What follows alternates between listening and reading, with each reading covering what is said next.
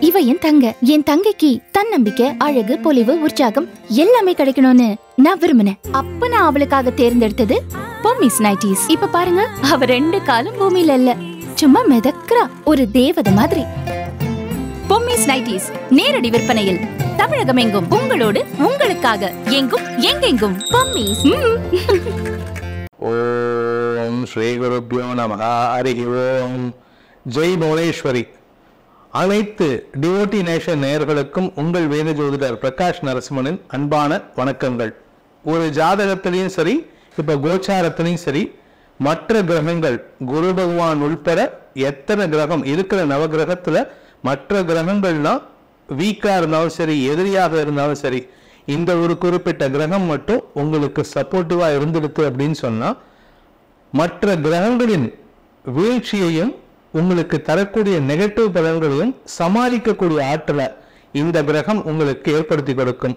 அப்பேற்பட்ட மாதாந்திர கிரகம் இது. அப்பேற்பட்ட கிரகத்தின் பலன்களை இந்த நவம்பர் மாதத்தில் என்னென்ன பலன்களை தரக்கூடிய வகையில் இருக்கு அப்படிங்கிறத நமது டிவோட்டி நேஷன் நேயர்களுக்கு பகிர்ந்து கொள்வதற்காக தான் இந்த எபிசோட் அது என்ன கிரகம் அப்படின்னு கேட்டால் தமிழில் வெள்ளி அப்படின்னு சொல்லக்கூடிய சுக்கர பகவான்.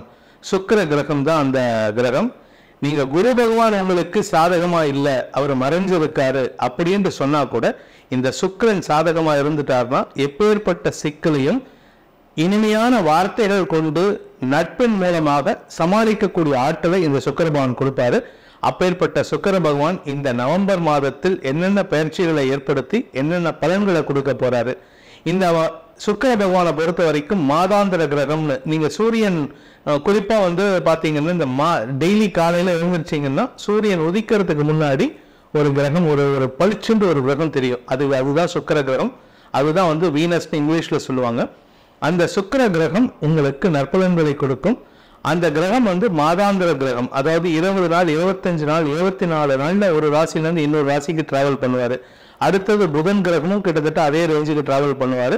மாதாந்திர கிரகங்கள்னு பார்த்தா சுக்ரன் புதன் சூரியன் ஆகிய மூன்று கிரகங்கள். இதில் சுக்ரன் வந்து எந்தெந்த இடத்துல இருந்தால் நல்ல பலன்களை கொடுக்க போறாரு அப்படிங்கிறத பார்க்க போகிறோம் இந்த மாதம் நவம்பர் மாதத்தில் சுக்கர பெயர்ச்சி இரண்டு முறை ஏற்படுகின்றது. அதாவது நம்ம ஏற்கனவே சொன்னோம் இந்த சுக்கரன் வந்து இருபது நாள் இருபத்தஞ்சு நாளைக்கு ஒரு தடவை டிராவல் பண்ணுறாரு ஒரு ராசிக்குள்ளேருந்து இன்னொரு ராசிக்கு போகிறாரு அப்படின்னு. அந்த மாதிரி இந்த நவம்பர் மாதம் ரெண்டாம் தேதி அன்னைக்கு சிம்ம ராசியில் இருக்கிற சுக்கிர பகவான் கன்னி ராசிக்கு பயிற்சி ஆகிறார். கன்னி ராசிங்கிறது வந்து புதனுக்கு புதன் பகவானுக்கு உச்ச வீடு. அதாவது அறிவு கிரகம் ஞான கிரகம்னு சொல்லக்கூடிய புதனுக்கு உச்ச வீடு. போக கிரகம்னு சொல்லக்கூடிய சுக்கிரனுக்கு அது நீச்சஸ்தானம். ஒரு மனுஷனுக்கு அறிவு ஜாஸ்தி இருந்ததுன்னா அவனுக்கு போகத்துக்கு மேலே இன்ட்ரெஸ்ட் குறையுங்கிறது தான் நம்மளோட முன்னோர்கள் சொல்லி கொடுத்த விஷயம் போகத்துக்கு இம்பார்ட்டன்ஸ் கொடுத்தா மீனராசியில் சுக்கரன் உச்சம் அடைவாரு. அந்த போகத்துக்கு இம்பார்ட்டன்ஸ் கொடுத்தீங்கன்னா அந்த இடத்துல அறிவு ஒழுங்கா வேலை பண்ணாதுங்கிறதுக்காக அந்த மாதிரி வச்சிருக்காங்க. இந்த கன்னிராசிக்கு சுக்கரன் நவம்பர் இரண்டாம் தேதி அன்னைக்கு பயிற்சி ஆகிறாரு. தன்னுடைய நீச்ச ஸ்தானத்துக்கு வராரு. அதே சமயம் இங்கே எத்தனை நாள் இருக்காருன்னா நவம்பர் ரெண்டாம் தேதியிலேருந்து நவம்பர் இருபத்தி ஒன்பதாம் தேதி வரைக்கும் இந்த கன்னிராசியில சஞ்சாரம் பண்ண போறாரு. இருபத்தி ஒன்பதாம் தேதி இன்னைக்கு டோட்டலாக பார்த்தீங்கன்னா நவம்பர் ரெண்டுலேருந்து நவம்பர் இருபத்தி ஒன்பது இருபத்தி ஏழு நாட்கள். அது சில சமயம் பார்த்தீங்கன்னா இருபத்தி ரெண்டு நாட்கள்லேயே அவர் டிராவல் டிரான்ஸ்ஃபர் ஆவார் ஷிஃப்ட் ஆவார். அதை பற்றி நம்ம கவலைப்பட வேண்டாம். இந்த நவம்பர் மாதம் இருபத்தி ஒன்பதாம் தேதி இரண்டாவது சுக்கிர பயிற்சி ஏற்படுகின்றது. நவம்பர் ரெண்டு முதல் பயிற்சி நவம்பர் இருபத்தி ஒன்பது ரெண்டாவது பயிற்சி இந்த மாதத்தில் நவம்பர் ரெண்டாம் தேதி சிம்ம ராசியிலிருந்து பயிற்சி ஆகிறார். நவம்பர் இருபத்தி ஒன்பதாம் தேதி கன்னி ராசியிலிருந்து தன்னுடைய நீச்சஸ்தானத்தை விட்டு துலாம் ராசிக்கு ஆட்சி ஸ்தானத்துக்கு போறாரு ஆட்சி வீட்டுக்கு போறாரு அந்த இடத்துக்கு போகும்போது அவருக்கு மறுபடியும் சொந்த வீட்டுக்கு வந்தால் எப்பவுமே பலம் ஜாஸ்தி இல்லை. அந்த மாதிரி சொந்த வீட்டுக்கு போய் அமரக்கூடிய வகையில உங்களுக்கு நற்பலன்களை வழங்கு வழங்குவார். இந்த நவம்பர் ரெண்டுலேருந்து நவம்பர் இருபத்தி ஒன்பது நீச்சஸ்தானத்தில் இருக்கும்போது சில ராசிகளுக்கு நெகட்டிவ் பலன்களையும் பல ராசிகளுக்கு நற்பலன்களையும் வழங்கக்கூடிய வகையில் இருக்காரு. எந்தெந்த ராசிக்கு நல்ல பலன்களையும் எந்தெந்த ராசிகளுக்கு சங்கடமான பலன்களையும் வழங்க போறாரு. அதனால உங்களுக்கு எப்படிப்பட்ட சங்கடங்கள் ஏற்படும் எப்படிப்பட்ட நற்பலன்கள் ஏற்படும் அப்படிங்கிறத இந்த வீடியோல பார்க்க போறோம். இனி உங்கள் ராசிக்கு உண்டான பலாபலன் என்ன? சுக்கரன் என்ன பயிற்சி சுக்கர பயிற்சினால் என்ன பலாபலன்களை தரக்கூடிய வகையில் இருக்காருங்கிறத இப்பொழுது பார்க்க போகிறோம். மேஷ ராசி.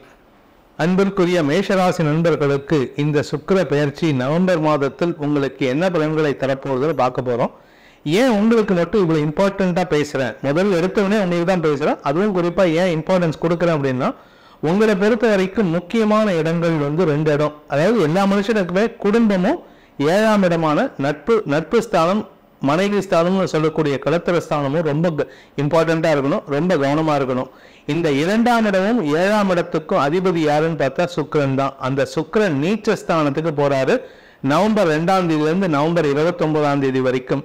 இந்த நவம்பர் ரெண்டுலேருந்து நவம்பர் இருபத் இருபத்தி ஒன்பது இந்த இரண்டு இடத்துக்கு அதிபதியான சுக்கிரன் நீச்சஸ்தானத்துக்கு போகிறதுனால உங்களுடைய மெயின் விஷயம் அடி வாங்கும். பண வரவு குறையறதுக்கு வாய்ப்பு இருக்கு. ஏன்னா இரண்டாம் வீடுங்கிறது வந்து தன குடும்ப வாக்குஸ்தானம். தனம் குடும்பம் வாக்கு. அதாவது தனம்னா வருமானம் குடும்பமா உங்களோட ஃபேமிலி வாக்குன்னா நீங்க சொல்லக்கூடிய வார்த்தைகள். இந்த வாக்கு ஸ்தானாதிபதியான சுக்கிரன் நீச்சஸ்தானத்துக்கு போறாரு. ஏழாம் இடத்த அதிபதியான சுக்கிரன் நீச்சஸ்தானத்துக்கு போறதுனால நீங்க பேசக்கூடிய வார்த்தைகள் வந்து தரம் தாழ்ந்து இருக்கிறதுக்கு வாய்ப்பு இருக்கு. அல்லது பேசுறதுல திக்கு திக்கல் ஏற்படுறதுக்கு வாய்ப்பு இருக்கு. சில பேர் பார்த்தீங்கன்னா நல்லா பேசிட்டு இருப்பாங்க. திடீர்னு பார்த்தா தடுமாற்றம் ஏற்படும் பேசுறதுல. அதுக்கு காரணம் என்ன அப்படின்னா இரண்டாம் வீட்டு அதிபதி ஒன்றாம் மறைவு ஸ்தானத்திலேயோ இல்லை சூரியனோடு சேர்ந்து அஸ்தங்கித பலனை அடையிறதோ இல்லை நீச்ச ஸ்தானத்துக்கு போனாலோ இந்த மாதிரி பிரச்சனைகள் வரும். நல்ல மரியாதையாக பேசக்கூடிய நபர் திடீர்னு எடுத்தறிஞ்சு பேசுவார் அல்லது தவறான வார்த்தைகளை பேசுறாருன்னா இந்த இரண்டாம் வீட்டு அதிபதி நீச்ச ஸ்தானத்துக்கு போகிறதுனால நீச்சமான வார்த்தைகள் அதாவது தரம் தாழ்ந்த வார்த்தைகளை பயன்படுத்துறதுக்கு உண்டான சூழ்நிலை ஏற்படுத்தும். முன்கோபம் அதிகரிக்கும். இதில் இன்னொரு சிக்கலான விஷயம் இந்த மாதம் பார்த்தீங்கன்னா நவம்பர் பதினாறாம் தேதி அன்னைக்கு உங்கள் ராசிநாதன் செவ்வாய் உங்கள் ராசிக்கு எட்டாம் இடமான விருச்சிக ராசிக்கு பயிற்சியாகி சனி பார்வையில் வராரு. எதுக்கு சார் சனி பார்வையை பற்றி பேசுகிறீங்க செவ்வாயை பற்றி பேசுகிறீங்கன்னா சுக்கிரன் என்னதான் நல்ல பலனை கொடுத்தாலும் அல்லது கெடுபலனை கொடுத்தாலும் மற்ற கிரகங்களும் உங்களுக்கு சப்போர்ட்டிவாக இருக்கணும். உங்களுக்கு இந்த நவம்பர் பதினாறுக்கு அப்புறம் முன்கோபம் ஜாஸ்தியாகும். முன்கோபம் ஜாஸ்தி ஆகுன்றது நவம்பர் பதினாறுலேருந்து நவம்பர் இருபத்தொன்பது பார்த்தீங்கன்னா உங்களுடைய வார்த்தைகள் தரம் தாழ்ந்து இருக்கிறதுக்கு வாய்ப்பு இருக்கு. அல்லது உங்களுடைய நண்பர்கள் தரம் தாழ்ந்த செயல்களில் ஈடுபடுவதற்குண்டான வாய்ப்பு இருக்கும். அல்லது நீங்க தேர்ந்தெடுக்கக்கூடிய நபர்கள் அப்போ புதுசாக ஏதாவது நண்பர்கள் அறிமுகம் ஆகிறாங்கன்னா அவர்களுடைய பேக்ரவுண்ட் செக் பண்ணி பார்த்தீங்கன்னா கொஞ்சம் த- தரம் தாழ்ந்த வேலைகள்லாம் செய்யறதுக்கு தயங்க மாட்டாங்க. அதனால் அந்த மாதிரி நபர்களிடமிருந்து உங்களை தற்காத்து கொள்வதற்கு நீங்கள் என்ன பண்ணணும் அப்படின்னு கேட்டால் உங்களுடைய குலதெய்வ வழிபாடு பண்ணணும். இந்த பரிகாரத்தையும் கூடவே சொல்லிட்டு வரேன் அதை முடிஞ்ச அளவுக்கு பண்ணிட்டு வாங்க. என்ன காரணம் அப்படின்னு சொன்னால் இதை பண்ணுறதுனால உங்களுக்கு தவறான விஷயங்கள் நடக்காமல் இருக்கிறதுக்கு இது உதவிகரமாக இருக்கும். இந்த மாதத்தை பொறுத்த வரைக்கும் நவம்பர் ரெண்டுலேருந்து நவம்பர் இருபத்தொன்பது சார் நான் சம்பளம் வாங்கிட்டு இருக்கேன். எனக்கு வருமான சம்பளம் கரெக்டாக மாசமான ஒன்றாம் தேதி போட்டுறாங்க இல்லை அஞ்சாம் தேதி போட்டுறாங்க அப்படின்னா அந்த சம்பளம் போட்டா கூட இந்த மாதம் வருமானத்தை காட்டிலும் செலவுகள் ஜாஸ்தி இருக்கும்.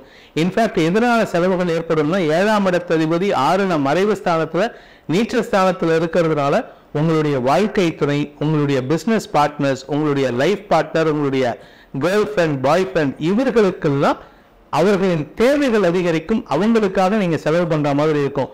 குடும்பத்துக்கு கொடுக்காம வீட்டுக்கு வீட்டுக்கு கொடுக்காம உங்களுடைய நண்பர்களுக்கு கொடுத்து செலவு செய்யறதுனால வீட்டில் இருக்கிறவங்க உங்க வீட்டில் இருக்கிற மனைவி அம்மா அப்பா அண்ணன் தம்பி எல்லாருமே திட்டுவாங்க. இது உனக்கு தேவையா அப்படிம்பாங்க. அதனால கொஞ்சம் உங்களுடைய தேவை அறிந்து அவர்களின் தேவை அறிந்து குடும்பத்தின் தேவை அறிந்து செலவு பண்ணுவது நன்மையை ஏற்படுத்தும். இந்த சுக்கர் ஏழாம் இடத்துக்கு அதிபதி ஆறாம் இடத்துல மறையிறது ஒரு நல்ல விஷயமா இருந்தாலும் ஆனால் அந்த இடம் நீச்சஸ்தானம். உங்களுக்கு என்ன பலனை கொடுக்கும் அப்படின்னு பார்த்தீங்கன்னா உங்களுடைய வாழ்க்கை துணையின் ஆரோக்கியத்திற்காக ருண ரோகஸ்தானம் எதிரி ஸ்தானம் விரோதிகள் ஸ்தானம் அந்த இடத்துல போய் மறையிறதுனால உங்களுடைய வாழ்க்கை துணையின் எதிரிகளுக்காக நீங்கள் செலவு பண்ணக்கூடிய வாய்ப்புகள் ஏற்படுகின்றது. அதனால செலவுகள் ஏற்படுகின்ற மாதமாக இருக்கும். இந்த மாதத்தை பொறுத்த வரைக்கும் சார் என்ன சார் எங்களுக்கு வருமானம் இருக்கு? அப்படின்னு சொல்றீங்க நாங்கள் எங்களுக்கு வருமானம் இருக்கு. நீங்க பாட்டுக்கு இப்படி சொல்றீங்களா அப்படின்னா வருமானம் இருந்தாலும் வரவை காட்டிலும் செலவுகள் அதிகரிக்கின்ற வாய்ப்புகள் இருக்கு. அதாவது இயற்கை அப்படிங்கக்கூடிய கடவுள் என்ன செய்வார்னா உங்களுக்கு வித்தியாசமான டெஸ்ட் வச்சுட்டே இருப்பாரு. எப்படிப்பட்ட டெஸ்ட்னா உங்களுக்கு முதல்ல ஒரு எக்ஸாமை வச்சிருவாரு. அதுலேருந்து என்ன கத்துக்கிறேங்கிறத அப்புறமா தான் அந்த படிப்பையே சொல்லி தருவாரு. அப்பேற்பட்ட எக்ஸாம் இந்த மாதம் உங்களுக்கு இருக்கு. யாருக்கு ஹெல்ப் பண்ணணும் யாருக்கு ஹெல்ப் பண்ணக்கூடாதுங்கிறத யோசித்து செயல்படுவது நல்லது. நான்காம் இடத்திற்கு லாபஸ்தானம்னு சொல்லக்கூடிய இரண்டாம் இடத்ததிபதி நீச்சமடைவது உங்களுடைய தாயார் மூலமாக உங்களுக்கு வர வேண்டிய லாபங்கள் குறைவதற்குண்டான யோகம் ஏற்படுகின்றது.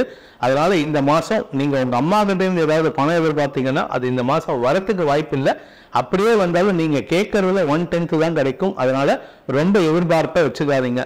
இதில் இன்னொரு விஷயம் என்ன அப்படின்னு பார்த்தீங்கன்னா உங்களுடைய இரண்டாம் வீடு அப்படிங்கிறது வந்து ஒன்பதாம் இடத்திற்கு ஐந்தாம் இடம்.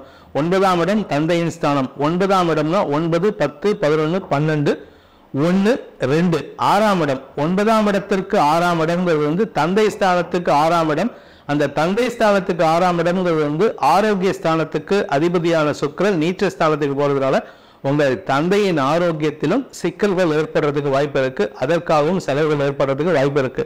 ஸோ மேஷ ராசியை பொறுத்த வரைக்கும் சுக்கரன் இரண்டாம் வீட்டு அதிபதி ஏழாம் வீட்டு அதிபதி தாய் தந்தையருக்கு சங்கடத்தை ஏற்படுத்துவார். குறிப்பாக தந்தைக்கு ஆரோக்கிய சங்கடத்தை ஏற்படுத்துவார்.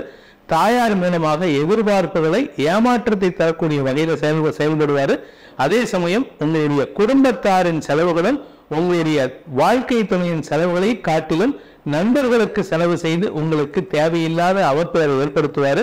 அதனால இந்த மாதம் நீங்க முடிஞ்ச வரைக்கும் உங்களுடைய குலதெய்வ வழிபாடு பண்ணுங்க. அதே சமயம் அம்பாலை வழிபடுவது சிறப்பு. அம்பாள் அப்படின்னு சொன்னா மகாலட்சுமி தாயாரை வழிபடுங்க. மகாலட்சுமி தாயாரை வழிபடுவதன் மூலமாக செலவுகள் குறைந்து வருமானம் அதிகரிக்கிறதுக்கு இது ஒரு வாய்ப்பை ஏற்படுத்தி கொடுக்கும்.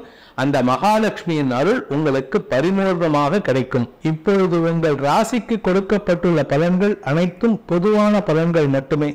உங்களுடைய தனிப்பட்ட ஜாதகத்தில் கிரகங்கள் நல்ல ஸ்ட்ராங்காக இருக்குது இல்லை வீக்காக இருக்குன்னா அதற்கேற்றாற்போல பலன்கள் மாறுபடுறதுக்கு வாய்ப்பு இருக்குது அந்த பலன்களை உங்களுக்கு ஏதுவாக மாற்றி அமைத்துக் கொள்வதற்கு சங்கடமான பலன்களை உங்களுக்கு ஏதுவாக மாற்றி அமைத்துக் கொள்வதற்கு அந்த சங்கடங்களை குறைத்து சந்தோஷத்தை அதிகப்படுத்திக் கொள்வதற்கு நீங்கள் செய்ய வேண்டியது கீழே கொடுக்கப்பட்டுள்ள டிஸ்கிரிப்ஷனில் கொடுக்கப்பட்டுள்ள இந்த கீழே ஸ்ட்ரிப்பில் கொடுக்கப்பட்டுள்ள அடியனின் தொலைபேசி எண்களை நீங்கள் எண்களின் மூலமாக என்னை தொடர்பு கொண்டு உங்களுடைய தனிப்பட்ட ஜாதகத்துக்கு மேலும் பலன்களை ஆராய்ந்து தெளிவு வருவதற்கு அதை பயன்படுத்திக் கொள்ளுமாறு கேட்டுக்கொள்கிறேன். இந்த பலன்கள் உங்களுக்கு பொதுவான பலன்கள் மட்டுமே. ஏன்னா உங்க ஜாதகத்துல ஜனனகால ஜாதகத்துல கிரகங்கள் ஸ்ட்ராங்கா இருந்தா நீச்ச காலத்துல அது பலன்களை குறைத்து கொடுக்கும். உங்க லக்னாதிபதிக்கு இந்த கிரகங்கள் நீச்ச கிரகங்கள் எதிராக இருந்தால் நன்மைகள் அதிகரிக்கும். அதை தெரிஞ்சுக்கிறதுக்கு அரியணை தொடர்பு கொள்வது நன்மையை ஏற்படுத்தும். அனைத்து ராசி நண்பர்களுக்கும் சங்கடங்கள் விலகி சந்தோஷம் அதிகரித்திட சர்வேஸ்வரன் துணை இருக்க வேண்டும் எனும் அரியனின் பிரார்த்தனையை சமர்ப்பித்து உங்கள் அனைவருக்கும் நல்வாழ்த்துக்களை தெரிவித்துக் கொண்டு உங்களிடமிருந்து விடைபெறுவது உங்கள் வீர ஜோதிடர் பிரகாஷ் நரசிம்மனின் அன்பான வணக்கங்களுடன் நன்றி வணக்கம்.